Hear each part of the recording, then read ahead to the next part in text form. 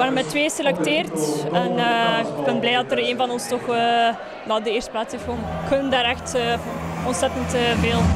Had je het verwacht? eigenlijk persoonlijk niet. Ik dacht dat eigenlijk Justine ging winnen.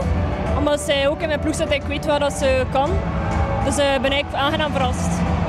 Leuk dat de Golden Palace Ball ook het vrouwenvoetbal er nu bij tussen haalt. Ja, ik vind dat veel, heel positief eigenlijk. Het is altijd over de mannen. En nu dan de vrouwen ook uh, ja, in de spotlight worden gezet, is uh, heel schoon voor hun. Wat vind je van de organisatie op zich? Heel, uh, heel schoon. Het is goed eten, heel mooie tafels, alles op en, op en top goed.